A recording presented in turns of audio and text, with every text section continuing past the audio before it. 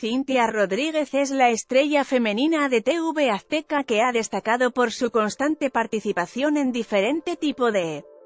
contenido como su actuación en la telenovela Educando a Nina, co-conductora en la Academia 2018 y en el programa de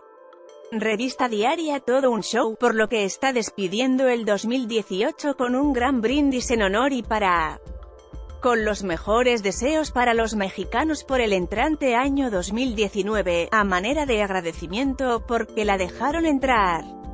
a los corazones de sus hogares. La solista versátil coahuilense quien regresa discográficamente en sonido de banda lanzando el próximo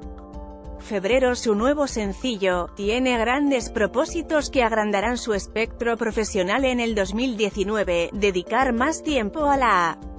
música, cantar mucho más en vivo y aplicarme a aprender a tocar un instrumento musical como será el piano, además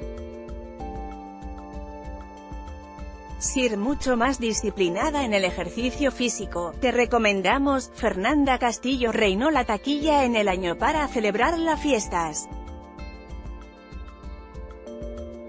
Cintia se trajo a toda su familia de Coahuila a la Ciudad de México y reunió a Carlos Rivera, a su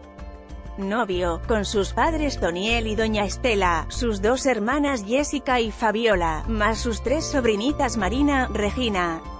y Pau. Para mí la Navidad significa la mejor época para unirnos como familia como yo lo hice con la mía y también buscar la reconciliación para perdonar, para amar, es una noche para estar en familia, para compartir con las personas que más amas en la vida, estar con los amigos y realmente valorar a las personas que han